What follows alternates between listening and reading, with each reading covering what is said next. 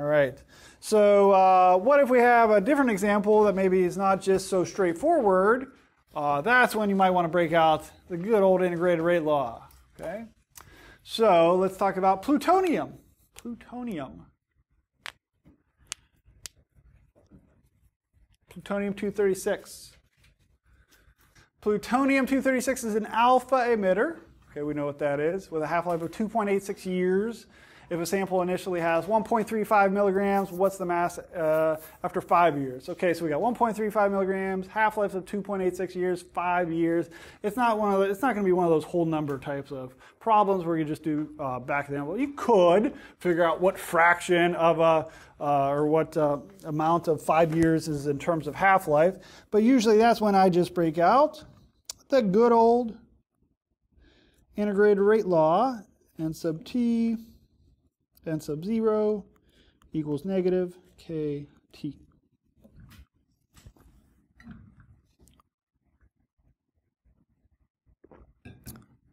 In tandem, we are also going to need that rate constant.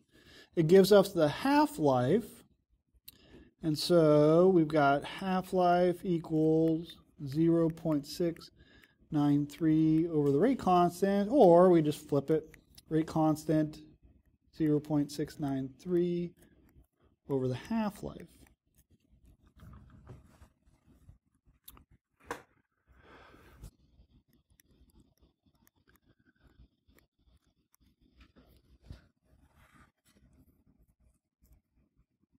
Zero point six nine three over what's the half life? Two point eight six years. All right.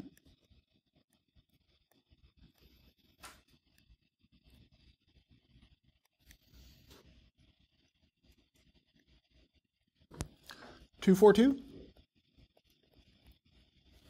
Zero point two four two. What are my units? Years. Years is on the bottom, so it'll be 1 over years. Or we could just write it as reciprocal years. Years to the minus 1. 1 over years.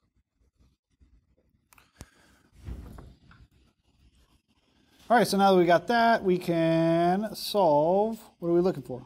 What are we looking for?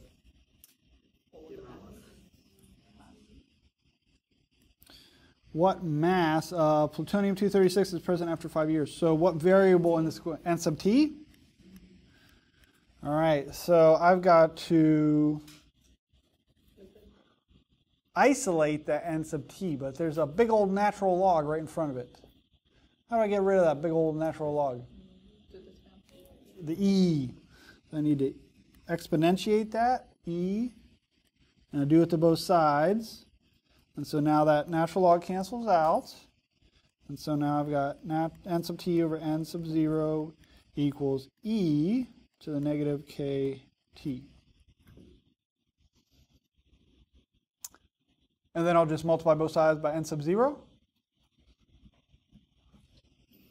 All right. So n sub 0 e to the negative kt. And so what is my n sub 0, my initial amount? Um,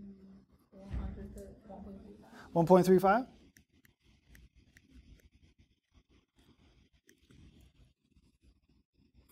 And then times e to the negative k, which we just calculated is 0.242 reciprocal years times 5, 5.00 years.